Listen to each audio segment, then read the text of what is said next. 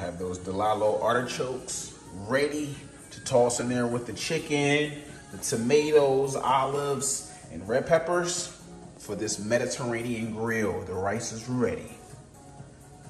Let's go. As soon as the tomatoes start popping, that's when you throw in the artichokes. Let's go.